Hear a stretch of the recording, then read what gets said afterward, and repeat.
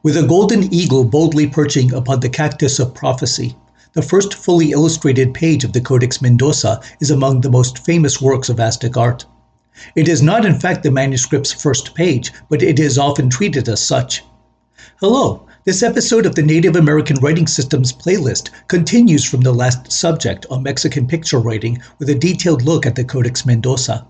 It will begin with introductory comments on the work, then follow with fascinating images from each of its three main sections Mexica Aztec conquests, province tribute lists, Mexica Aztec society.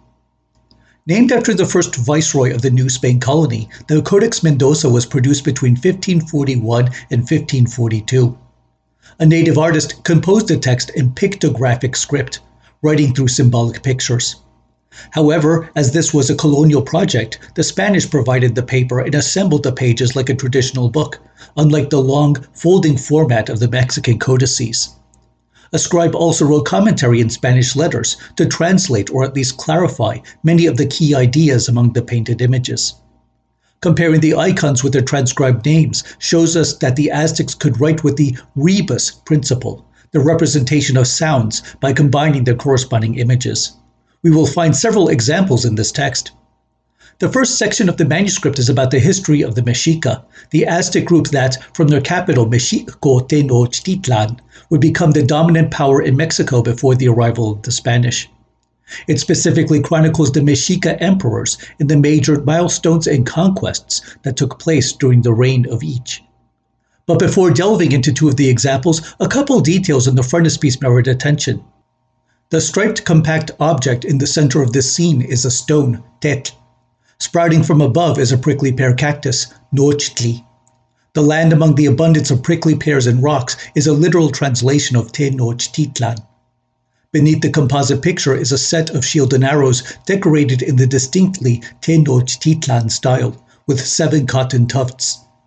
And the Spanish writing at bottom finally confirms that this image reads Tenochtitlan.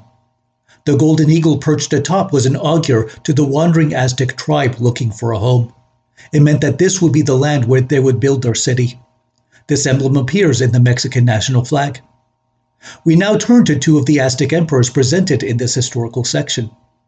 The main figure is the third Tlatoani, or Mexica Aztec emperor, identified by the Chimalli, Nahuatl for shield, and profuse smoking, Poca. Chimal Poca.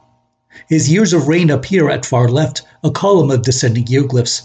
Four rabbit, five reed, six stone knife, seven house, eight rabbit, and so on, listing the years from 1417 to 1427. The Aztecs used solid lines to indicate when ideas were conceptually linked.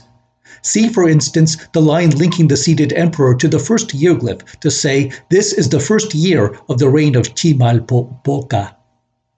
One of the most dramatic events drawn out in the Codex Mendoza appears on this page. The city of Chalco, southeast of Tenochtitlan, sent men to ambush an envoy from the capital with stones, shown in the assailing figure's hand as the same striped compact object we saw in the emblem for Tenochtitlan. The attackers are illustrated with the band linked to the icon for Chalco, meaning where jade is. They damaged four canoes and killed five men from Tenochtitlan their heads linked to the prickly pear cactus and stone. Chimalpopoca retaliated by sending a Mexica army to torch the Chalco temple. The year count ends with the bottom glyph of 13 reed, a solid line linked to the emperor again, but with closed eyes indicating his death. From just well delineated and organized pictures, we could read the entire page as a history of the reign of Emperor Chimalpopoca, from installation to death. Regardless what languages we know, we can read these images fairly precisely. Another noteworthy case in the Mexica royal history is the reign of the sixth Tlatoani, seated on a ruler's mat. Water, or at, running over the face, Xayacatl, identifies the emperor as Axayacatl. A milestone event during his reign appears at upper center.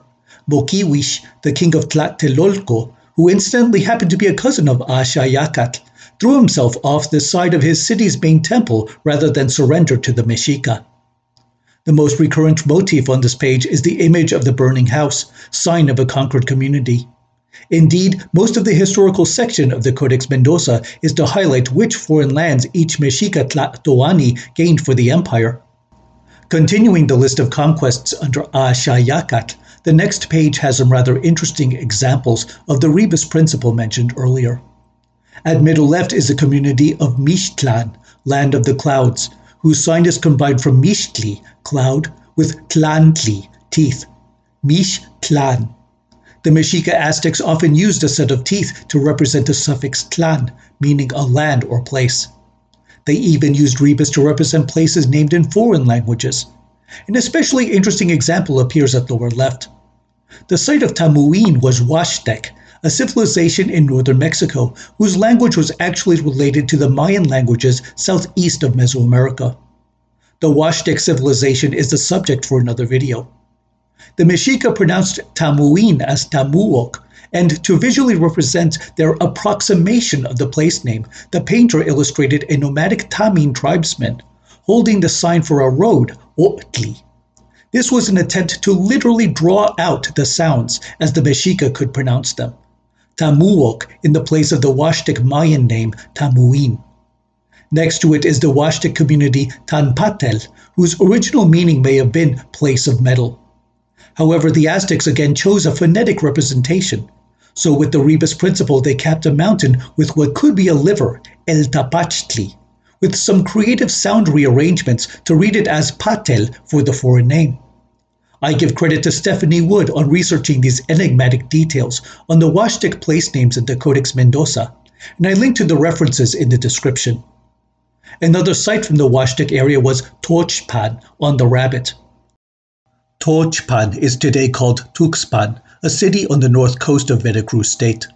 This place and the previous two are in the Huasteca region of northern Mexico, and we will return to these lands in the next episode as we proceed to the Codex Mendoza second section on the tribute list.